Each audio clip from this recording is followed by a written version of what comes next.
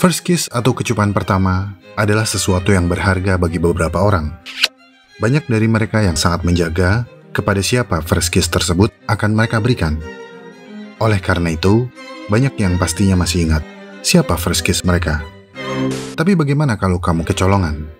Bagaimana jika ada yang mengecup kamu tanpa persetujuan kamu? Mungkin kamu akan marah atau bahkan kecewa ketika akhirnya tahu. Kencana ya. Tapi ternyata sekitar 78% manusia di dunia dilaporkan pernah kecolongan first kiss mereka. Hanya 30% manusia yang tahu kalau mereka telah kecolongan. Dan karena kecupan kecil tanpa rasa tersebut, sekitar 10.000 manusia telah kehilangan nyawa setiap tahunnya. Ini dia pelakunya. Ini dia yang suka diam-diam mengecup. Ini dia yang diam-diam membunuh banyak manusia. Ini adalah triatoma, alias kissing bug.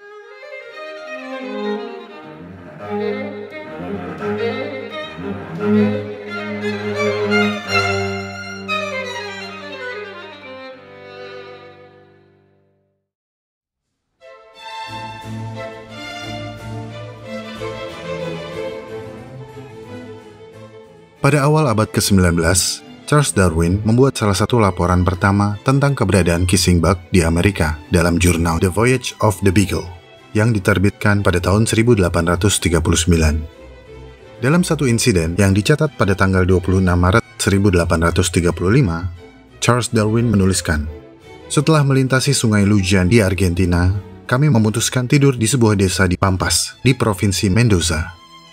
Saya mengalami serangan dari bencuca, serangga hitam besar yang cukup terkenal di Pampas. Sungguh menjijikan ketika merasakan serangga lembut tak bersayap yang panjangnya sekitar satu inci ini merayapi tubuh. Serangga besar ini menghisap darah kami. Sebelum menghisap, tubuh mereka rata dan kurus. Tapi kemudian menjadi bulat dan membengkak karena penuh darah. Mereka mudah hancur dalam keadaan bengkak ini. Ternyata, serangga ini juga terdapat di Chili dan Peru. Kami menangkap beberapa serangga yang perutnya kosong. Serangga ini seperti tidak takut. Bahkan ketika diletakkan di atas meja dan dikelilingi oleh orang-orang, jika disodorkan jari, serangga itu akan segera menjulurkan mulut penghisapnya dan menghisap darah jika dibiarkan. Tidak ada rasa sakit yang segera terasa ketika mulut serangga menusuk kulit untuk menghisap darah. Kemudian tubuhnya berubah dalam waktu kurang dari 10 menit. Dari datar menjadi bentuk bola. Kami menyimpan serangga gemuk berisi darah ini untuk diamati. Mereka tetap gemuk selama 4 bulan penuh. Namun, akan kembali menghisap darah setelah dua minggu pertama tanpa menunggu perutnya kempes.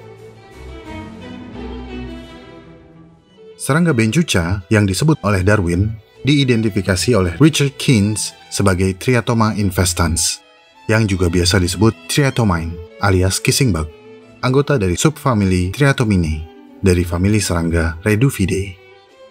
Triatomine diklasifikasikan menjadi 5 tribe atau suku dan 15 genus yang mencakup 147 spesies yang telah dideskripsikan. Sebagian besar di antaranya berkembang secara eksklusif di dunia baru atau hanya ditemukan di benua Amerika. Namun, spesies dan subspesies Triatoma rubrofaciata tersebar hingga ke seluruh dunia, kecuali Antartika. Kemungkinan besar penyebarannya terjadi di kapal, melalui aktivitas pariwisata dan perdagangan. Beberapa subspesies dari Triatoma rubrofaciata hanya ditemukan di Asia. Secara sekilas, semua anggota subfamili Triatomine terlihat mirip dengan beberapa kepik yang ada di sekitar kita. Tapi, seperti yang sudah disebutkan sebelumnya, spesies kissing bug yang ada di Asia hanya satu, yaitu Triatoma rubrofaciata. Tapi memang, penampilan kissing bug mirip dengan assassin bug. Ini karena mereka merupakan bagian dari famili Reduvidae.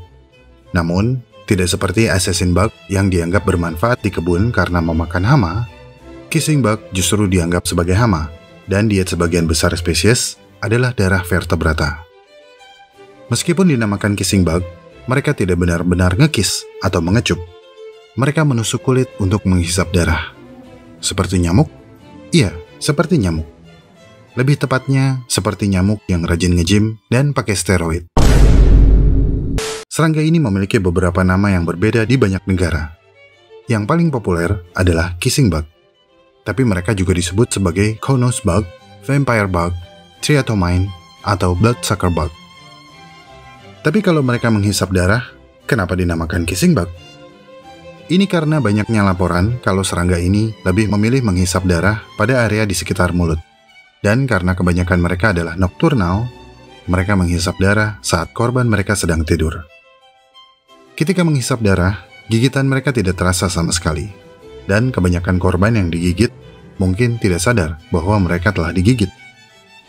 Sama seperti nyamuk, kissing bug menggigit sambil menyuntikkan air liur mereka yang memiliki sifat anestesi atau bius ke dalam kulit, sehingga membuat kulit mati rasa untuk sementara. Namun, tidak seperti nyamuk yang cuma betina yang menghisap darah, baik kissing bug jantan atau betina sama-sama menghisap darah. Biasanya diperlukan waktu antara 20 hingga 30 menit untuk memenuhi perut mereka. Pada beberapa spesies, perut mereka bisa membengkak hingga berkali-kali lipat.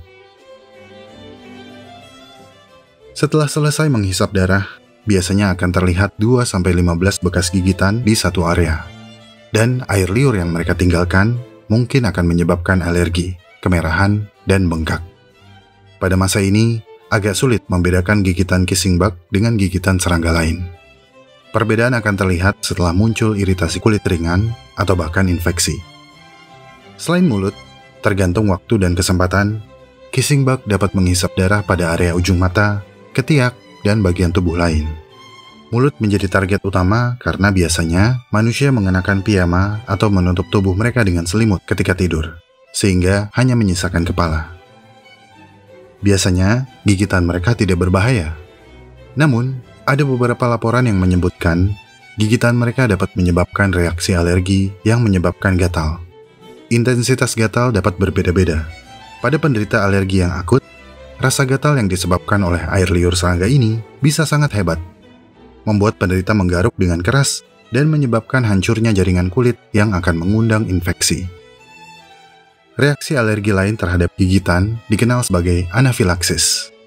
Anafilaksis adalah reaksi alergi yang mengancam jiwa yang terjadi secara tiba-tiba.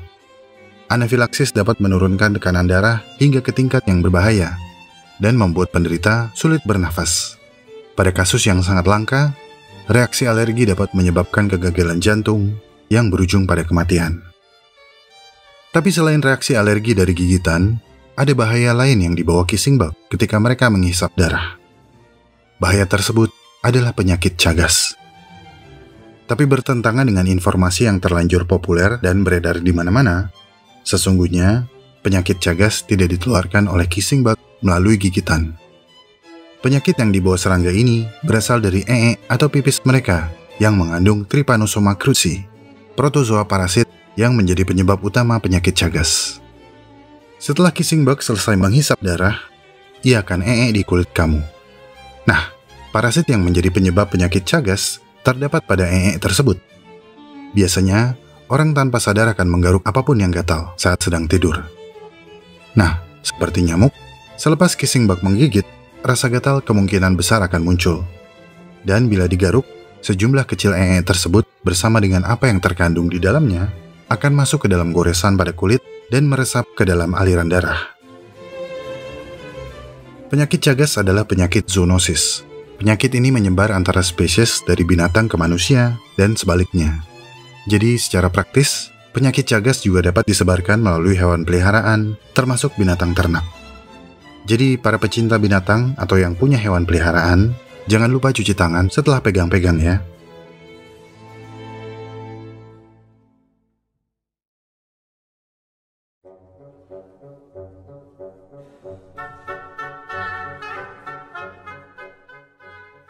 If not detected early, Chagas disease can cause serious problems in the heart and digestive systems and can even be fatal. It affects as many as 7 million people, most of them from low income communities with limited access to healthcare. Secara umum, cagas adalah penyakit kronis yang dapat bertahan lama jika tidak segera ditangani. Penyakit ini akan mempengaruhi jantung dan menyebabkan komplikasi pada organ pencernaan. Gagal jantung dapat dipicu oleh penyakit ini. Penyakit cagas membuat jantung membengkak dan melemah hingga tidak lagi kuat menampung dan memompa darah untuk memenuhi kebutuhan tubuh.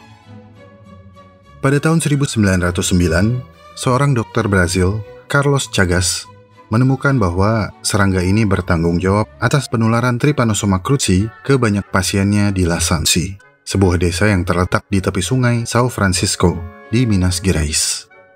Masyarakat miskin yang tinggal di sana mengeluhkan beberapa serangga yang mereka sebut barbero yang sering muncul dan menyerang pada malam hari. Belakangan, Carlos Chagas mengidentifikasi serangga barbero sebagai anggota keluarga Triatomine, tepatnya Triatoma infestans. Setelah mengetahui kebiasaan dan kelimpahannya di seluruh tempat tinggal manusia di wilayah tersebut, Carlos Chagas menjadi tertarik untuk mengetahui lebih lanjut biologis lengkapnya dari Barbero dan potensi penularan beberapa parasit ke manusia atau ke vertebrata lain. Dokter Brazil lain, yaitu Herman Land, yang juga merupakan mantan murid Carlos Chagas, ikut terjun dan melanjutkan penelitian Barbero yang telah dimulai oleh Carlos Chagas. Bersama dengan Peter Wygodzinski, mereka membuat revisi penelitian Triatomine yang telah berlangsung selama lebih dari 40 tahun. Penelitian terbaru menjelaskan sebanyak 138 spesies Triatomine berpotensi menularkan Trypanosoma cruzi ke manusia. Namun, ada lima spesies yang dinyatakan sebagai faktor utama yang paling berperan secara epidemiologis, yaitu Triatoma infestans, Rhodnius prolixus, Triatoma dimidiata, Triatoma brasiliensis, dan Panstrongylus megistus.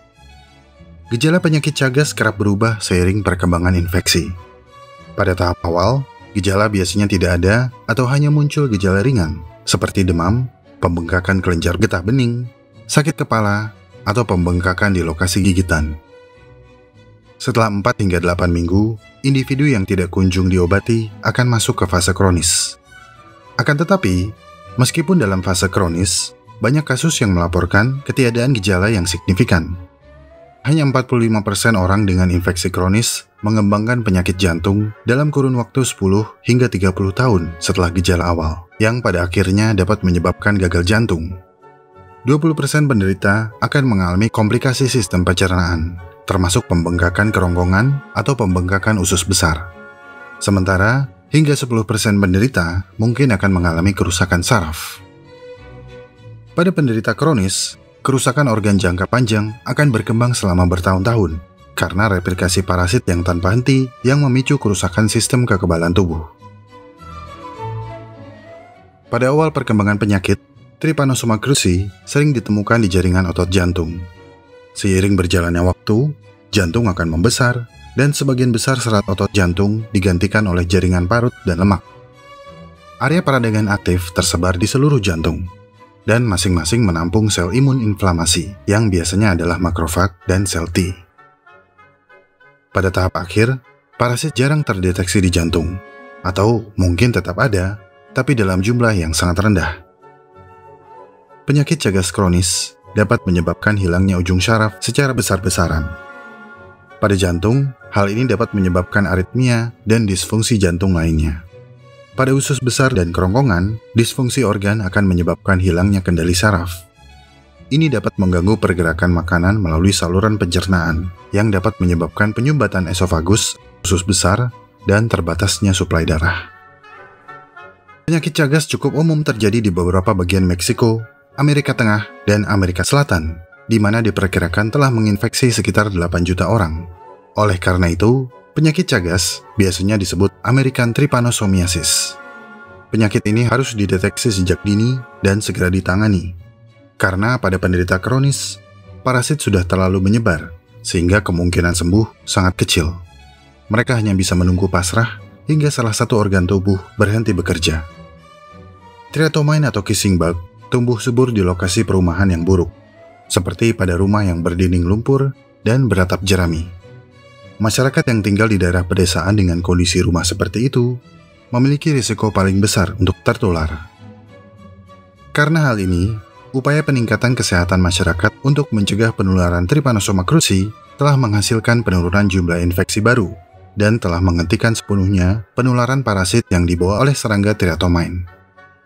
Negara-negara di mana penyakit cagas sangat umum terjadi juga telah mulai melakukan screening darah untuk mendeteksi penyakit ini.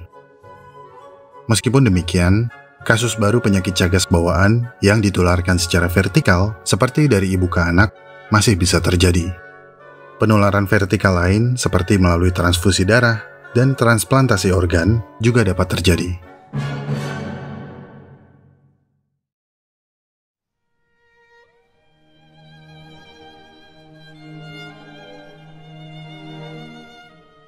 Meskipun dampaknya mengerikan, penyakit cagas sesungguhnya adalah efek yang cukup langka yang dibawa oleh kissing bug. Tidak semua orang yang digigit kissing bug akan terkena penyakit cagas. Dan meskipun kissing bug adalah vektor potensial Trypanosoma cruzi, tidak semua kissing bug membawa parasit ini. Hanya sekitar 50% spesies yang diperkirakan terinfeksi parasit Trypanosoma cruzi. Dan kamu hanya akan tertular penyakit cagas jika kandungan EE dari serangga yang terinfeksi kamu garuk sehingga parasit dapat masuk ke dalam sistem tubuh. Daerah endemik penyakit Chagas membentang dari Amerika Serikat bagian selatan hingga Chili bagian utara dan Argentina. Dengan Bolivia, Argentina, dan Paraguay menunjukkan prevalensi penyakit tertinggi. Di wilayah Amerika Latin, penyakit Chagas adalah penyakit endemik di 21 negara. Di daerah-daerah tersebut, upaya pengendalian vektor dan screening darah sangat digencarkan oleh karena itu, infeksi dan kematian tahunan telah berhasil dibatasi hingga sebesar 73% dari puncaknya pada tahun 1980-an hingga 2010. Penularan melalui serangga vektor dan transfusi darah telah sepenuhnya dihilangkan dalam kurun waktu antara 1997 hingga 2006. Namun, saat terjadi krisis kemanusiaan di Venezuela, penularan vektor mulai bermunculan dan terjadi lagi di beberapa wilayah. Walaupun angka penyakit cagas yang ditularkan melalui vektor telah menurun di sebagian besar Amerika Latin, angka penyakit yang ditularkan secara oral telah meningkat. Kemungkinan karena meningkatnya urbanisasi dan penggundulan hutan yang membuat serangga yang telah terinfeksi mendekat ke pemukiman manusia dan secara langsung mengubah distribusi beberapa spesies terkait. Penyakit cagas yang ditularkan secara oral menjadi perhatian khusus di Venezuela di mana 16 wabah telah tercatat antara tahun 2007 hingga tahun 2018. Penyebaran secara oral dapat terjadi dari konsumsi buah atau sayuran yang telah terkontaminasi ee serangga atau mamalia yang terinfeksi. Inilah sebabnya mencuci buah dan sayuran sebelum dikonsumsi dan memasak daging hingga matang sangat-sangat dianjurkan. Trypanosoma cruzi juga dapat menjangkiti binatang liar ataupun binatang peliharaan, termasuk binatang ternak ada lebih dari 100 spesies mamalia di seluruh wilayah Amerika Latin yang dapat terinfeksi Trypanosoma cruzi. Semuanya dapat terinfeksi melalui vektor ataupun secara oral. Tapi umumnya berawal dari entomofagus atau insektivora, alias pemakan serangga, seperti oposum, armadillo, marmoset, kelelawar, berbagai hewan pengerat, kucing, dan anjing. Mamalia yang lebih kecil terinfeksi karena memakan serangga yang telah terinfeksi Mamalia yang besar terinfeksi karena memakan mamalia kecil yang telah terinfeksi. Dari awal penyebarannya, daerah pedesaan di Amerika Latin dengan kondisi rumah di bawah standar adalah surga bagi serangga yang terinfeksi Trypanosoma cruzi. Jadi, penyakit cagas sangat terkait dengan penyakit pedesaan. Hanya orang desa yang dapat terkena penyakit itu. Penyakit kampungan. Tapi, itu dulu. Migrasi internasional telah membantu menyebarkan penyakit ini ke banyak negara non-endemik, terutama ke Amerika Utara dan Eropa. Seperti pada tahun 2020, di mana sekitar 300 ribu orang yang terinfeksi telah teridentifikasi di Amerika Serikat. Sebelumnya, pada tahun 2018, diperkirakan sebanyak 30 ribu hingga 40 ribu warga Amerika Serikat didapati menderita kardiomiopati cagas setelah analisis lab. Sebagian besar kasus di Amerika Serikat terjadi pada imigran dari Amerika Latin. Namun, belum tentu keseluruhan dibawa langsung dari Amerika Latin. Ada dugaan kalau penularan secara lokal juga terjadi. Banyak spesies serangga triatomine atau kissing bug memiliki siklus infeksi yang berkelanjutan antara vektor serangga dan hewan reservoir, mempermudah penyebaran penyakit cagas di daerah yang tidak terkontrol kebersihannya. Pada tahun 2013, biaya pengobatan untuk penderita penyakit cagas di Amerika Serikat diperkirakan mencapai 900 juta US dollar per tahun, termasuk biaya perawatan dan biaya peralatan medis seperti pacemaker atau alat pacu jantung. Pada tahun 2019, penyakit Chagas telah menjangkiti sekitar 68.000 hingga 123.000 orang di Eropa. Spanyol memiliki prevalensi penyakit yang tertinggi yang diperkirakan antara 50.000 hingga 70.000 orang. Ini merupakan salah satu kasus paling besar di Eropa. Karena pola imigrasi yang berbeda, prevalensi penyakit ini juga sangat bervariasi di negara-negara Eropa. Italia memiliki prevalensi tertinggi kedua, diikuti oleh Belanda, Inggris, dan Jerman. Bagaimana dengan Indonesia? Apakah kita perlu khawatir? Menurut sebuah artikel di yankes.kemenkes.go.id, belum ada laporan mengenai penyakit cagas di Indonesia.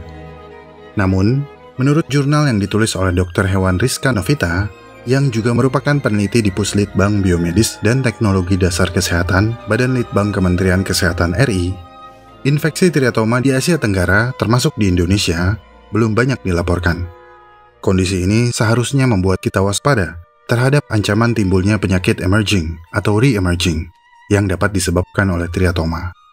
Hal ini seharusnya menjadikan tingkat kewaspadaan terhadap ancaman timbulnya penyakit-penyakit tersebut dengan membuat suatu early warning system sehingga derajat kesehatan masyarakat dapat tercapai setinggi-tingginya. Dengan kata lain, meskipun belum ada kasus infeksi dan kematian, pengetahuan akan vektor, reservoir, dan dampak dari Trypanosoma cruzi akan sangat bermanfaat untuk membekali diri kita agar dapat menyikapinya di kemudian hari.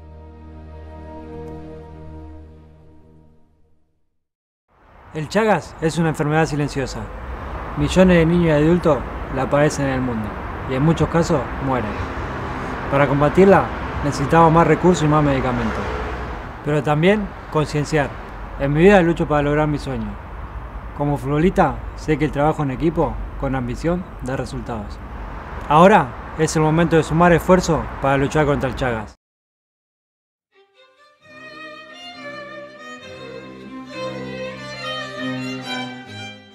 Memang akan sulit mengetahui dari mana datangnya gigitan. Apalagi jika yang menggigit sudah hilang saat kamu bangun tidur. Namun, beberapa ahli menyarankan untuk memeriksa bawah meja, samping tempat tidur, atau di sela-sela kasur. Karena mereka tidak akan kabur terlalu jauh dengan perut penuh darah. Jika menemukannya, tetap waspada. Jangan menyentuh dengan tangan kosong. Gunakan alat atau gunakan sarung tangan karet jika ada ambil serangga tersebut dan masukkan ke dalam wadah. Kemudian bersihkan area yang telah disentuh serangga tersebut dengan bleach atau pemutih.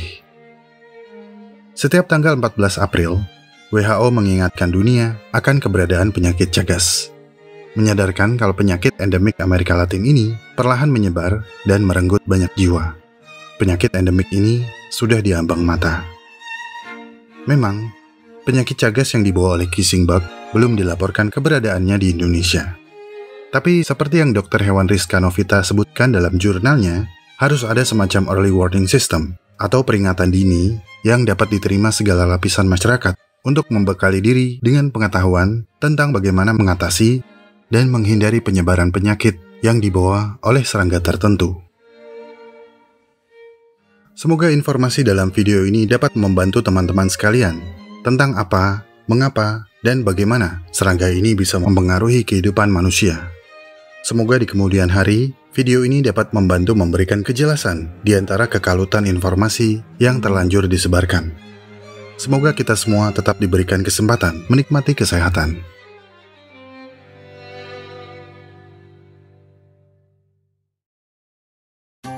Pendanaan video alam semenit sebagian berasal dari dukungan para donatur di Saweria, Minyau Brun Brun Sikukus Miong, Ambekna Londong Alo, Liberation Force, Liberation Guild, Fadil, Air, Dinul Sayang Firda, Rival Fire, Rival Fire, Rival Fire, Mana Saya Tahu, Dipalov Azizah Paiha Ufairah, Agatan Isaac, Agatan Isaac, Dalilah Jadi Pacarku Mau Enggak, Antok Kamil, Babang Bahas Nautilus Dong, Jejak Publisher, Papahnya Nashwa Alhuma, Trisa, Tokitak, Arintek Lampung, Arintek Lampung, Arintek Lampung, Ejas Jas Hujan, Junun, Toko Laundry Bagus, Arnold Doain Aku Cepat Kaya dan Nikah, Yusril, Andri Garage, W3, Kopi Lambada Adventure, Ayangku Riani Rahayu, Itong Sayang Tasya, Sila Si Pembual, Global, Papahnya Moza, Toko Delingyu Karanggupito, Chandra Salai dan Juragan Muntois, Shopee Muntois underscore, subscribe YouTube Chandra Salai, Kzenka 95, Pink Vet Clinic and Pet Shop Bima NTB, Cookie Nibi QB, Cookie Nibi QB, Cookie Nibi QB, Revaldi Sayang Laila, Aku Sayang Sekar, MNJ Makassar, Wafi Tanggi Ramadika, Gans Gami, Ragdoll number 1, Ragdoll number 2, Ecol pacarnya Kim Chewon, dan Kamsa Aromatik Rokan Hulu.